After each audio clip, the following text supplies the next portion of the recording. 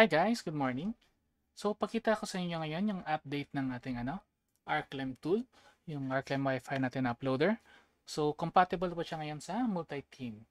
At saka, meron din tayong ibang update tulad ng ito ko sa inyo. So, ito yung bagong updater natin.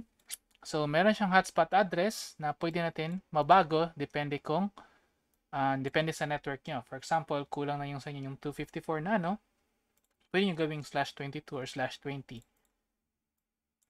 And then, automatic na dito siya mag-update sa ating device. So, mapansinin natin, uh, so sa address, yan, nabago na siya based on sa nakasetup. Pati yung pool, pool range.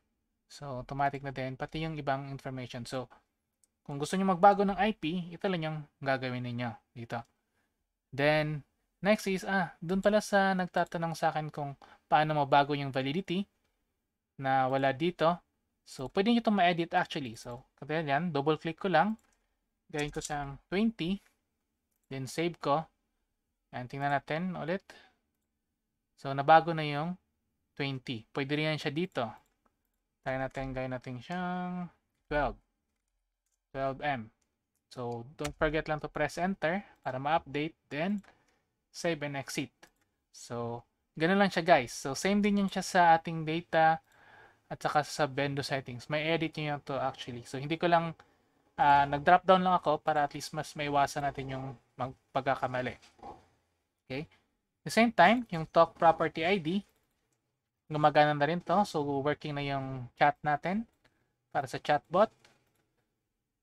Then, ang gagawin nyo lang, yun sa merong nang nakasetup, is i-delete nyo lang tong dating naka-wall garden. Delete nyo lang yan siya. Tapos, enable nyo lang ulit. Okay? So, yan. Then, ito, pwede nyo enable, disable yung time rates, data rates, saka e-load. same time, yung mga sabendo. Then, meron na tayong marquee. So, simpleng marquee lang para sa advertisement or kung anong gusto nyo. Then, meron tayong dalawang klase ng web portal. So, ito, pakita natin yung unang web portal natin. So, yan guys, medyo mabagal yan siya na part. Hintayin nyo lang, nalabas din yung ano. So, so pakita natin. So, editable pa rin to guys. Ha? Pwede pa rin kayo mag-custom. So, ilagay nyo lang yung sa custom scripts para at least uh, pwede nyo i-copy paste. So, yan yung ano natin. So, meron pa rin tayong ano, kasi naka-enable yung sub-bendo. So, yan yung marquee. Then, view rates natin.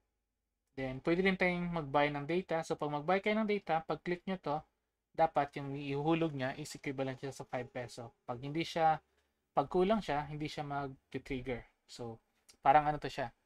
Uh, para kung gusto niyo magbenta ng per data. So, maganda to kung dun sa naka-ano lang. Ayan, naka 3G or LTE.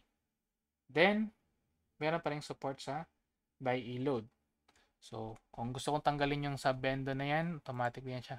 Tanggalin itong sub-bendo, tapos tanggalin ko yung data rates, tapos e-load rates. Tapos generate lang ako ulit. Tapos natin mag-update. Yan. Tapos, refresh ko lang to. Yun. Automatic yan magbabago. Based on sa kung ano yung required lang ng setup ninyo. So, gumagana na rin yung ating talk.2. So, kung gusto niyo matanggal, i-empty nyo lang to at wala nang lalabas na sa chat. So, dito naman sa, to, sa ating ano, so ibalik natin para pakita natin load rates. Yan, L-Extreme. Tapos, enable pa natin yung sa bendo. Try naman natin tong isang ano natin. So, thank you sa nagbigay dito ng portal. Kasi gusto niya ito yung portal niya. So, yung ka-look look and feel is same. So, yan. Ito natin mag-update.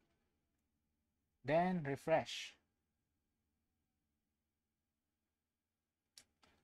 Ito natin mag-refresh. Yan. So, so depende na sana. Kung mayroon pa ibang gustong portal, pwede natin ilagay dito. Bigay nyo lang sa akin yung yung code or paano ko yung i ano yung look and feel natin para dyan. So, same lang din siya. May view rates. Tapos buy data. So, pwede pa natin mag-buy ng data. Buy ng e-load. The same time, meron tayong chatbot pa rin. So, kung disable ko siya ulit yung ano natin, disable ko yung data, reload, tapos yung bendo. Yan, ito yung sa ano, marquee. So, generate ko yan. So, hintayin lang natin. Generate. So, yun. Yun na. So, pwede pa rin. Nagana pa rin siya. So, tayo natin mag-insert coin. Ah, hindi ko pa pala na-reset yung device. So, hintayin lang natin. Set ko muna yung device, tapos mag-insert coin tayo. So, take note, pag mag-upload kayo ng settings, kailangan nyo i-reset yung device kasi kailangan niya ma-update yung, yung system niya doon. So, itong sa marquee na to sa taas, meron to sa, sa public, pwede nyo edit yung ano, HTML para ma-add nyo yung ano, yung kung anong gusto nyo i-edit. So, ito na yung forma natin sa ating ano, sa templates. So, ganyan na siya. So, meron tayong, kapansin nyo, mayroong arclem, tapos CNTY. Pwede nyo i-edit yung mga ano na yan. So, for example, sa CNTY, yan natin. So, pwede nyo edit yung carousel dito. So, editable pa rin siya, guys. Kaya na bahala mag, ano, anong gusto nyo na magiging setup. So, oh, try natin. Try tayo mag-insert coin. So, yan siya. Tayo. Tapos generate code. So, itong portal na to, meron pa rin tong ano, meron pa rin to siyang yan.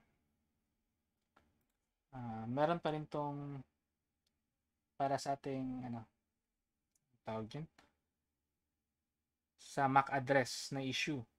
So, yung random map, mag-work pa rin dito yung update natin last time. So, yan na yung naging status niya. So, pwede tayo mag-extend time, pwede pwede natin mag-view yung rates. So, tapos meron pa rin chat. Yan. Tapos guys, meron pa akong isang papakita sa inyo. Yung ating next na ano, is yung Arclem Wi-Fi natin na app. So, ito yung Arclem Wi-Fi natin na app. So, pwede rin to gamitin natin para sa as portal lang ating mga customer. So, yung meron kasi dito, ah, hindi ko pala ito na-update. So, yung meron dito is yung voucher saka yung rewards. Eventually, meron na itong voucher saka rewards. So, so yan, ah, palitan ulit natin yung CNTY na ano, ah, yung Arclem na ano, na portal. So, pwede kayo mag-change change ng portal on the fly kung gusto niyo. So, yan. So, dito, meron din validity. Okay? So, yun lang guys, yung para sa update natin, itong Arclem Wi-Fi version 4.3.1. At the same time pala, meron din pala tong update din sa ating ano, sa ating device mismo. So, yung sa update naman doon is yung sa randomized na na Mac. So, mas random pa siya sa ano kasi may issue daw doon sa magkakapareho or magkalapit lang yung number. So, ayos na rin yun. Same time, yung sa ating, ano to, talk.2. So, yung sa app, uh, next time, um, next week siguro, mayroon na tayong update. Para rin doon. Para din doon. So, yun lang guys. So, yan. Don't forget to like and subscribe.